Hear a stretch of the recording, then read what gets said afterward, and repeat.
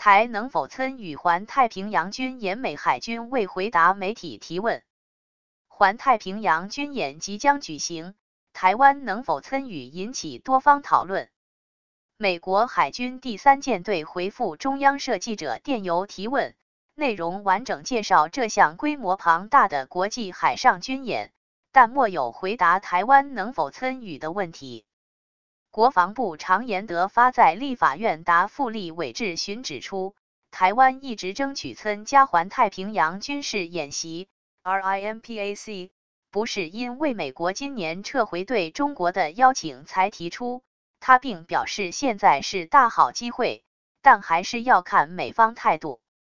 中央社记者以电邮询问美军印度太平洋司令部 US Indo-Pacific Command，台湾能否参与2018年 RIMPAC？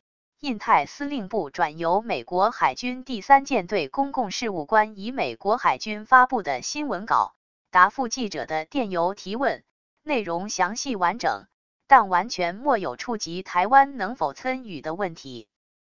美国第三舰队引用美国海军发布的新闻稿指出，二零一八年环太平洋军演自六月二十七日至八月二日。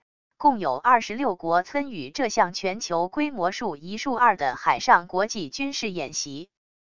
这二十六国包括澳洲、巴西、汶莱、加拿大、智利、哥伦比亚、法国、德国、印度、印尼、以色列、日本、马来西亚、墨西哥、荷兰、纽西兰、秘鲁、南韩、菲律宾、新加坡。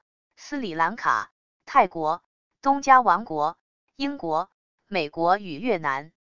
新闻稿说，巴西、以色列、斯里兰卡与越南是首次参加环太平洋军事演习。演习重点包括美军军机发射长城反舰飞弹 （LRASM） 的实弹射击，日本陆上自卫队发射陆基反舰飞弹等。新闻稿指出。参与演习的舰艇共四十七艘，潜水艇五艘，十八国的面部队，超过二百架军用机与官士兵二万五千人。时间从六月二十七日至八月二日，的点在夏威夷与南加州。新闻稿指出，演习项目涵盖海上救援与维安、两栖作战、反潜、防空、扫雷、爆裂物处理及反海盗等。